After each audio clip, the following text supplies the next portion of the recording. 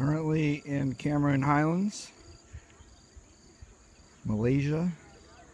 It's kind of hard to get out here. It's rainy season right now. But it's pretty beautiful walking through the tea plantations, just exploring around. Tea's quite good. Maybe not as good as India or Nepal, but quite good. There's a whole bunch of people here. This is at the Bharat Tea Plantations. About four kilometers north of Tanah Rata and Cameron Highlands.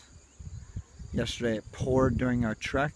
Today it's somewhat nice. Much better than yesterday. Staying dry. Forgot my camera at the hostel because of how wet it was yesterday. Didn't want to ruin it today, but Cameron Highlands, Malaysia. Keep on trekking, guys. Cheers.